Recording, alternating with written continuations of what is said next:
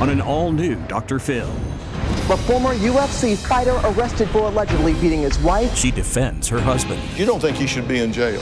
No. Has he threatened to kill you? Yeah, but I have too. And the one person in her corner. He would have killed her that night if she hadn't left. Shut up. You're so annoying. She slams the hardest. This is the mother that's raising your children. Yeah, great for her. She's the one that took them from me. You're a disgusting person.